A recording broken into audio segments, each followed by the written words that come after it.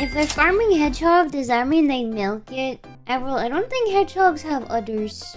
Can you milk a hedgehog? Can you milk a... They probably were just using the hedgehogs for, like, heavy work. Do hedgehogs produce milk? Oh, they are. They do. They Maybe they do then. What the fuck?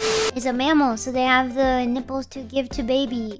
Oh. Well, may maybe they, they were milking. They were small enough. But wouldn't they have to have, have had a baby recently? They would have to have... If, if it would have... It would have had to have... It would have had to have, have had a baby recently in order for it to be giving milk, I think. I don't know.